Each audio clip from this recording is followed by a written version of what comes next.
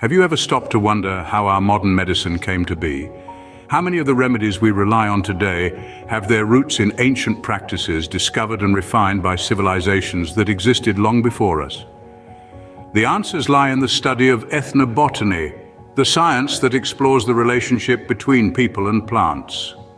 One man in particular has left an indelible mark on this field. His name is Richard Evans Schultz, often referred to as the father of modern ethnobotany. Born on January 12, 1915 in Boston, Massachusetts, Schultz developed a fascination with the natural world from a young age. His early interest in plants was nurtured by his parents and by his high school biology teacher, who would later inspire him to pursue a career in botany. Schultz enrolled at Harvard University in 1933, where he discovered his passion for ethnobotany under the mentorship of Oakes Ames, a renowned orchidologist and ethnobotanist. In 1941, Schultes embarked on a journey that would shape the course of his career in the field of ethnobotany. He traveled to the Amazon rainforest where he lived among the indigenous tribes for 12 years. During this time, he studied the tribe's use of plants, especially hallucinogenic ones, documenting their practices and learning from their extensive knowledge of the rainforest's flora. Schultes was the first non-native individual to academically examine ayahuasca, a traditional spiritual medicine used in ceremonies by indigenous cultures of the Amazon.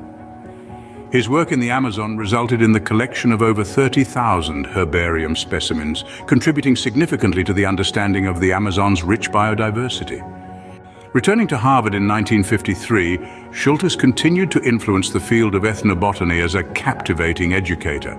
His book, The Plants of the Gods, co-authored with chemist Albert Hofmann, is considered his greatest work, providing an insight into the relationship between plants and human culture. Schultes retired from Harvard in 1985, leaving behind a legacy that continues to inspire students and researchers worldwide.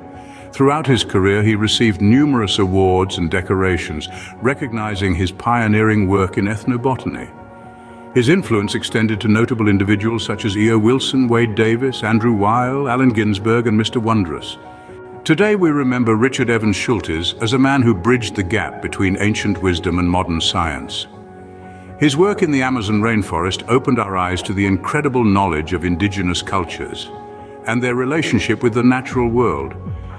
His dedication to ethnobotany has not only enriched our understanding of plants, but also paved the way for advancements in medicine, conservation and cultural preservation. In summary, Richard Evans Schultz was a trailblazer in the field of ethnobotany.